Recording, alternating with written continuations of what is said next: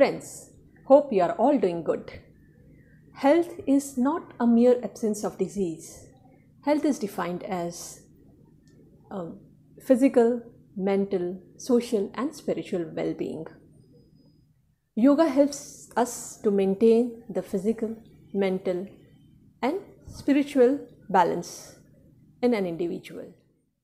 Friends, we will be doing Shalbhasan. It is also known as locust pose. It is done in sleeping position. Those who have weak abdominal muscles or lower back pain should do it in under supervision. Few benefits are it prevents constipation, helps in digestion, the muscles around the waist, waist region, the back and the abdominal region get toned and the flexibility increases.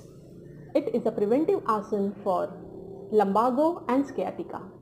So let's get started. Both legs together, hands by the side of the body, chin on the floor.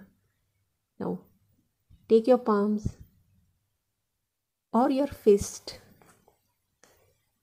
under your thighs and slowly raise your legs from your lower back. Ensure that the knees are not bent and the chin is on the floor. Maintain this position for 10 to 15 breaths. Focus on your breath. To release, place the legs on the ground.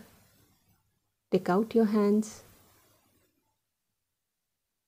Head to one side and relax.